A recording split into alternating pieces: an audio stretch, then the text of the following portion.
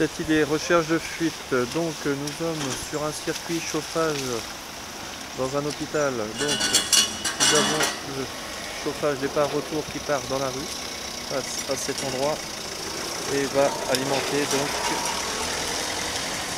ce bâtiment. Donc nous avons donc placé la caméra thermique donc à l'emplacement du chauffage. Donc nous avons Et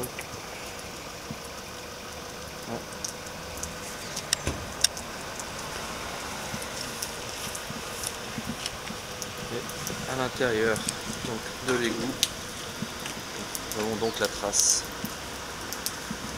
Fuite détectée